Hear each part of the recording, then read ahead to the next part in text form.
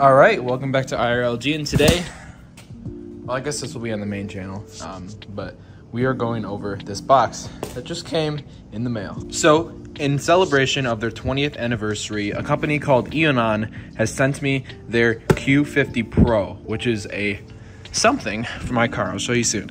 They also sent me a backup camera as well, so that is very cool. Today's video is sponsored by the Q50 Pro, so we will put the backup camera here for now. Um, I will not be unboxing it today. Um, it might still be in the video later, but just today while I'm recording this, I won't be because I'm currently dressed up in a tuxedo for a formal event I gotta go to after this, so yeah. Anyway, let's get our box cutters. Let's become Gus Fring and unbox this. All right, I'm gonna hop in my car for this, just so we can have a little bit of a better unboxing experience here. Let me get the wide lens on so you can see a little better.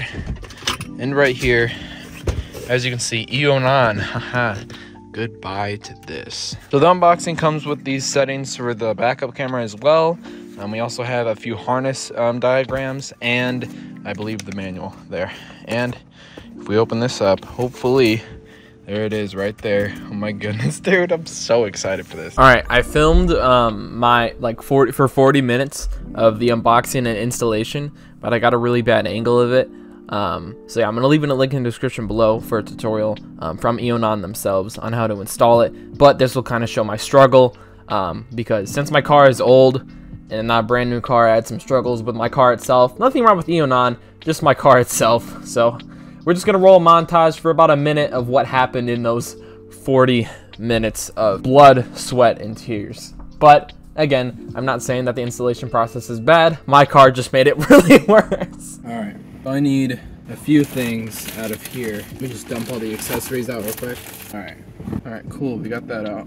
Now we gotta unscrew the things that hold in the radio. That sounded loud. What? You'll have it. What?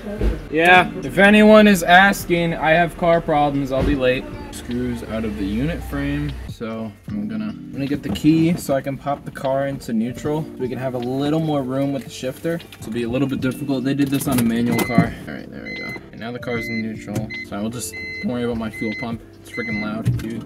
Spielkabel ist jetzt verlegt, aber das war eine richtige Fummelarbeit.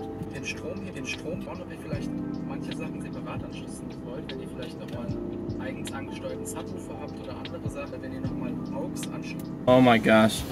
All right, I'm still recording on this phone, but that is freaking amazing. We got it up so far. This is frustrating, but that's because I don't know too much about how to work on these. So we don't have everything installed, but that's a-okay because uh, it's just too tedious right now and I'm already late to the event that I'm supposed to be going to, FYI. So, but should be able to fit it right here. Fits flush like that. That looks so amazing, dude. There's GPS, I don't need that yet. I don't need the USB yet, or that yet. Oh my god, serious, dude? That took a while, but it is installed. I will record another video tomorrow about it. Oh my god. Oh. Dude. I finally did it. Okay, so I was late to my concert because um, of it, but I got it set up in the parking lot. That looks so cool. So, after a few days, do I think that the Eonon Q50 stereo is worth the money? Yes, 1000% yes. It is absolutely amazing. I've had zero issues with it. It turns right on when I turn the ignition on. And it's just great. This is the theme I got on it right now. It's pretty nice. Um, there's some apps here that I can go. I can access Netflix right here, which brings me to Netflix, as you can see right here. I cannot because I'm not connected to the Wi-Fi right now. I can also do YouTube. I'm also not connected to my Wi-Fi right now. But one of my favorite things is the DSP app right here, where is an equalizer where you can adjust every single pitch. And you also have modes right here to do as well. So that is really cool. Surround sound as well, you can adjust where the sound is, if it's in the driver's seat or the middle. I choose the middle, sounds the fullest that way. But if you want it even louder, driver's seat would be the way to go. For zone, um, this kind of controls where the subs are. So each speaker pretty much has a little bit of bass in it, and you can adjust the sub gain um, and frequency and stuff like that. So that's cool. And right here is all with the subs right here. So I got my bass boost up to nine. It really transforms the bass. That's all I will say. It is really good. I will try to insert a clip now of a song. It will not be long because it is copyrighted. It's just amazing. Bass filter can also somewhat protect protect the subs. I have them both almost on zero. They're at like five or 10 right now, just because, you know, I don't want to blow my subs. I believe that's what it's for. But anyway, another really cool thing over here is T-Link right here. And well, yeah, it is pretty much CarPlay. I'm now connected to CarPlay. As you can see, it's recording there. And yeah, we have it completely, and it is completely wireless. There are no wires to my phone at all. Um, I do have my charger, but that's not connected at all. Um, there's also Android Auto on here, and it's just so cool. There's also a car app right here, which just takes me back to the car, but I can always go back in here. I have my calendar there. Um, I can also go to my settings. Um, I actually have a lot here, which is really cool. Driving focus, we can always do that as well. And it silences some stuff. Uh, but anyway, so we have Google Maps here as well. I'm not going to show the street names, but we also have, uh, if I exit here, we also have Apple Maps, which for some reason it's taking me to Google Maps and not Apple Maps. I guess that's just the default thing. Oh, there we go.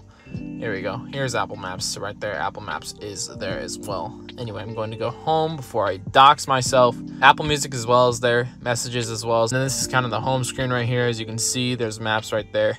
And yeah, we also got Spotify and that works really good. Anyway, going back to home here, we have the live time by the second as well. As you can see, it does show the second on the time right there. So that is really accurate because it's set like by default. You don't have to set it manually right here and try to time it perfectly. It just automatically goes to what time it actually is.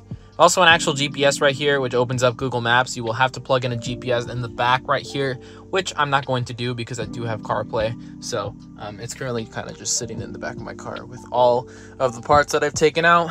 Um, I'm going to be taking those out soon because I'm dropping my car off in two days to get this dent fixed finally. It's about time. Really excited to see the car um, and how it looks. But uh, yeah, the installation process was a little annoying um, towards the end. Um, I got it in and stuff, but I wasn't able to screw the radio back in actually. So currently this brown panel right here is actually holding it in. It's really stable though, so I'm not really too worried about it. Um, I'm having some alignment issues with this. I'm not really sure. I guess it's just not pushed all the way in, but normally it would look like this. Right now it's kind of like that. It's not too big of a deal because it's all the way in right here and right here is completely fine. So I'm not too worried about it. And moving the climate system there was also really easy. That's also not really clamped in, but it's staying in place perfectly fine. So I have zero issue with that.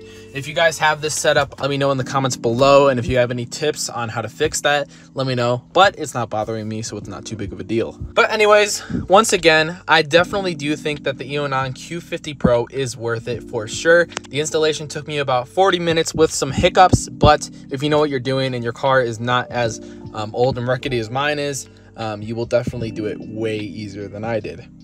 Now, obviously, that is for the BMW process. They, they do also support GM products and some other ones, um, so that will also be um, for that. So yeah, this video again is sponsored by Eonon, so thanks to them for sending me out with this one. And also somewhere in there, they also sent me a backup cam, but this video is mainly sponsored by the Q50 Pro. I will install the backup camera in a later video, just not right now because I do not have the time for that right now, unfortunately. But um, they just kind of wanted me to do a video with my thoughts right here. There are plenty more apps as well on here. Um, Quick Pick. I also got Royal Match, which is just a mobile game that I found on Google Play.